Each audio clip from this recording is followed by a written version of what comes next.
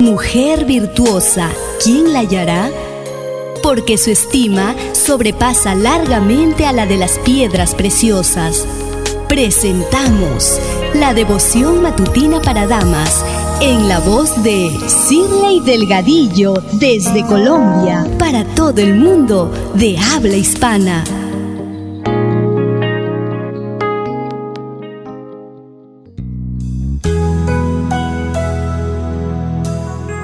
No seas sabio en tu opinión. Teme a Jehová y apártate del mal, porque será medicina a tu cuerpo y refrigerio para tus huesos. Proverbios 3.7. Un feliz sábado para todas mis amigas. Qué alegría es saber que llegó ese día tan anhelado por todas nosotras y que hoy vamos a disponer más tiempo para alabar el nombre de nuestro Dios. La matinal trae como título Dios sana el cuerpo y el alma. Muchas veces pensamos que la felicidad está hecha de pequeños momentos de satisfacción y alegría, pero que la plenitud de ese estado no existe. Nos cuesta aceptar que cuando enfrentamos una experiencia triste o difícil, podemos ser felices y agradecidas a la vida. Antes de entender lo que es ser plenamente feliz, tuve que luchar durante cuatro años contra una enfermedad de raíces psiquiátricas muy fuerte. Cansada de sufrir, un día me dije a mí misma, dejaré mi enfermedad en manos del destino y algún día me curaré por completo. A mi manera, le pedí a Dios que me quitara la enfermedad, pues traía mucho daño, depresión y malestar a mi vida. A los 23 años llegué a Buenos Aires para hacer un posgrado y aprender a vivir sola.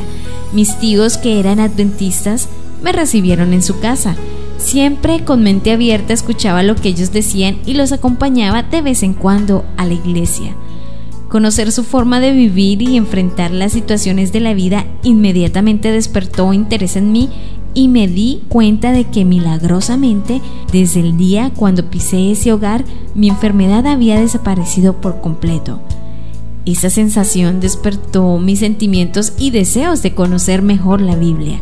Estaba segura de que solo Dios podría haberme sanado de la enfermedad que me carcomía la mente y el alma. De a poco y conforme iba aprendiendo, la sensación de felicidad plena envolvió mi vida entera sentí una paz enorme que me permitía enfrentar con otra óptica lo que tenía por delante. Siempre tuve momentos difíciles y siempre los tendré, pero mi corazón está hoy del lado de Dios y tranquilo porque sé que siempre me dará fuerzas cuando más las necesite.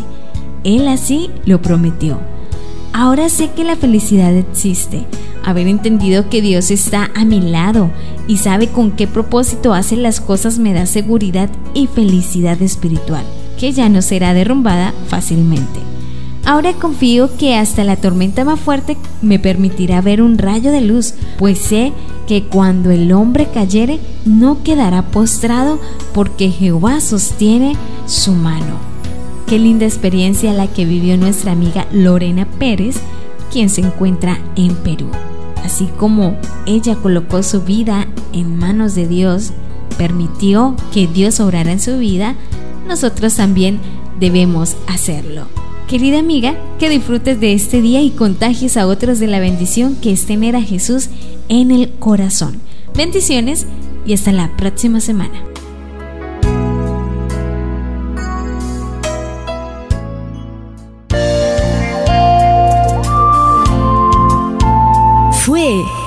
La devoción matutina para damas. El alimento espiritual que necesitamos cada día para crecer en Cristo Jesús. Esta fue una presentación de Canaan Seven Day Adventist Church y DR Ministries. Escríbenos a d-ramos28 hotmail.com. Te esperamos.